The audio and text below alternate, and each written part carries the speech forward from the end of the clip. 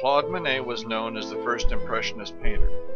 It began in 1872 with his painting of the sunrise.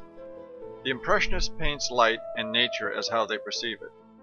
At age 43 he moved to Giverny where he purchased a house and property and began a vast landscaping project that included lily ponds.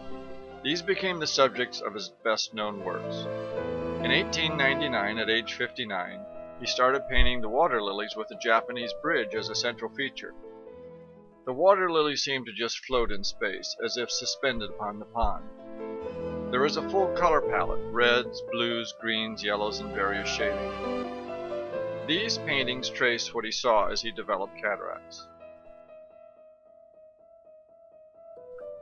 In his late 60s, his paintings of the water lilies and the Japanese bridge become less distinct and more two-dimensional. As the cataract thickens, the blue tones are being blocked. Everything now appears more yellow and red. Over the next 20 years, the Japanese bridge of his youth now changes.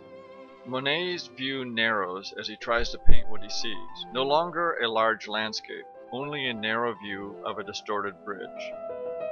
The cataract blurs the vision and changes the colors, leaving the patient to perceive the world as more yellow and red and much less distinct. By 1923, his vision had deteriorated such that he had two cataract surgeries.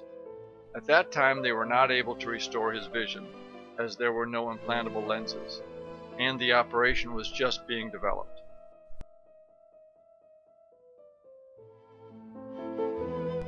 Even his self-portraits, 31 years apart, acknowledges his lack of eyesight. He may not have known that he was developing cataracts, but he definitely did know that he was having trouble with his vision.